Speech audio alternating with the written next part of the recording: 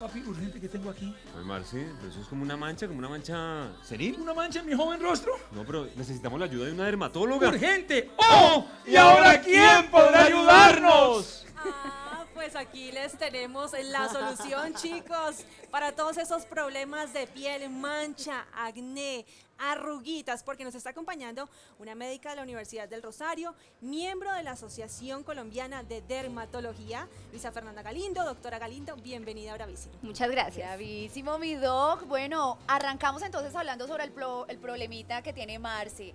¿Será, doctora, que con el aumento de la edad de las manchas en la piel ya son normales? ¿Son comunes? ¿No hay que preocuparse? Bueno, pues eh, ella tiene que saber que no está sola, es un problema bastante Solo, común. Marce. Ah, perdón.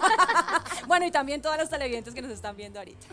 Eh, así es, es un problema bastante común. eh, es un tema de predisposición genética asociado a la exposición solar crónica que recibimos desde la infancia, desde que nacemos. Eh, es- nos estamos exponiendo al sol y eso hace que aparezcan las manchas en la piel. Hablemos del cáncer. ¿Qué factores pueden generar el cáncer en la piel? Bueno, el primero es que tengamos una piel muy blanca que al exponerse al sol se queme directamente en lugar de broncearse. El segundo, que tengamos antecedentes familiares o personales de cáncer de piel, que te hayamos tenido quemaduras eh, solares en la infancia con ampolla, tener un gran número de lunares. Básicamente esos son los factores Yo he escuchado que, el- que, que ese cáncer de piel es como acumulativo. No sé si has escuchado el caso de Hugh Jackman, el Wolverine. Sí, él tuvo carcinoma vasocelular. eh, en la nariz. Y no Sí. es que ahorita está recibiendo mucho sol, sino que en su infancia lo recibió, no se cuidaba, no usaba bloqueador. Exactamente, de hecho la radiación que recibimos antes de los 18 años es la más importante y la que más determina eh, la aparición A de cáncer de cuidarse. piel. Y tristemente es cuando más nos exponemos al sol. Cuando Doctora, acabamos de hacer un Facebook Live intentando también resolver muchas preguntas de los televidentes y entre las más comunes también estaba el tema de las manchas, aparte de ese, el tema del acné.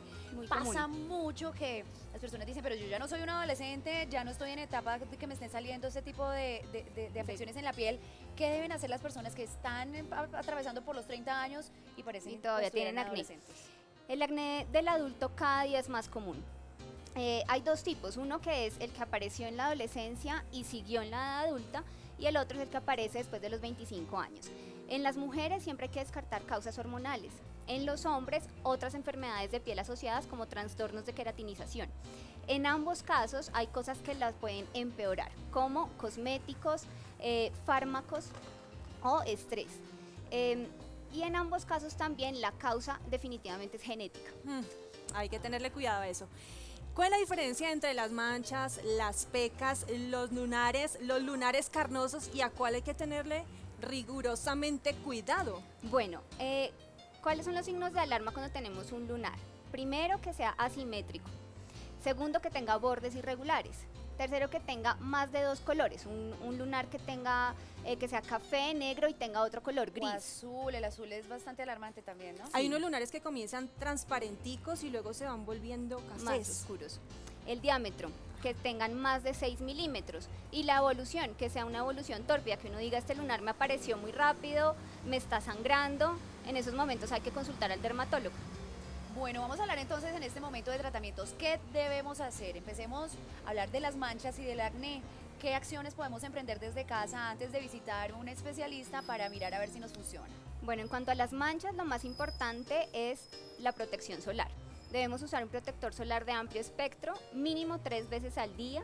Debemos cuidarnos del sol, aunque tengamos el protector solar, no exponernos al sol, usar sombreros, sombrilla, buscar la sombra, gafas de sol. En el caso del acné, importante no espicharlos, los granos.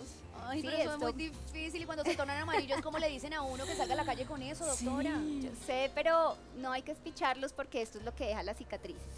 Eh, no espichar los granos, no automedicarse, no automedicarse con cosas caseras que realmente es importante consultar temprano al dermatólogo. ¿Qué piensas precisamente de esos tratamientos caseros para las espinillas, para el acné, para los punticos negros, La para crema las colgate, que la col- generalmente se echa la crema de Vaporub. dientes, que el bicarbonato de sodio, que el limón, que, que el zumo de fresa, ¿eso sirve?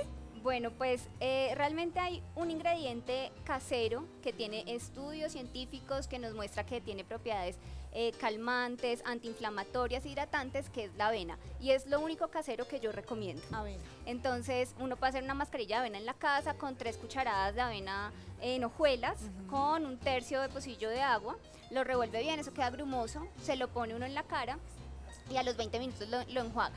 Digamos que es el único ingrediente casero que como tal tiene un- algo de respaldo científico. Para todo tipo de piel, seca, mixta, Para grasa. todo tipo de piel, se, se puede usar en pacientes atópicos, en pacientes con acné. Por lo demás, eh, no recomiendo remedios caseros. Yo pienso que en el tema de la piel, que bueno, es nuestro órgano más extenso, tenemos que tener un cuidado bien especial, acudir a las manos de un profesional, de un especialista y no inventar tanto porque todos tenemos diferentes tipos de piel y no todos los tratamientos son para nosotros, doctora. Queremos que usted nos regale sus placas virtuales, donde la podemos contactar para sobre todo aquellas personas que sabemos que están muy preocupadas porque la piel es pues nuestra carta de presentación. Claro que sí, me pueden seguir en redes sociales. Mis redes sociales son arroba dermovoc. Sí. Eh, estoy en Instagram, en Facebook, ahí están todos los datos de contacto del consultorio. y de unos tipsitos así rapiditos por, eh, para finalizar donde nos ayude a tener esa lozanía y estar más radiantes. Los tips más importantes para tener la piel joven. El primero, llevar una vida sana, hacer ejercicio, comer bien, frutas, vegetales, no consumir alimentos ricos en carbohidratos. El segundo, aplicar protector solar. Es fundamental aplicar protector solar tres veces al día, todos los días. Y el tercero, no broncearnos, ni artificial ni naturalmente. Y, y como plus, como ñapa, es que en el caso de las mujeres sigamos muy bien al pie de la letra el ritual de desmaquillarnos todas las noches, no Totalmente. dormirnos con nada de maquillaje porque Totalmente. eso tapa los poros. Bueno, doctora, y me acabo, me acabo de acordar de una pregunta que nos hicieron acerca de la, de la protección solar. Dependiendo del tipo de piel, ¿hay un tipo de bloqueador solar? Porque hay algunos que son más grasosos que otros. Es importante también Así es. tenerlo en cuenta para... ¿Y el nivel de protección? Así es. El protector solar debe ser de amplio espectro, eh, debe tener un, un FPS mínimo de 30 y dependiendo del tipo de piel, si tenemos una piel grasosa, preferimos en gel. Si tenemos una piel em, seca, preferimos en crema o en emulsión. Bueno, con esta información finalizamos, Moni. Nos tocaba, como estamos tan cortitos de tiempo hoy, nos tocaba, como dice el dermatólogo, al, Al grano. grano. Mi doctora Luisa Fernanda, muchísimas gracias por acompañarnos y por toda esta información. Regalito, por supuesto, nos Mira, va con la para que vayas a mercar y no uses bolsas plásticas y el pocillito para tintico que te mantengas hidratada. Muchas gracias. Un bravísimo para nuestra... Gracias.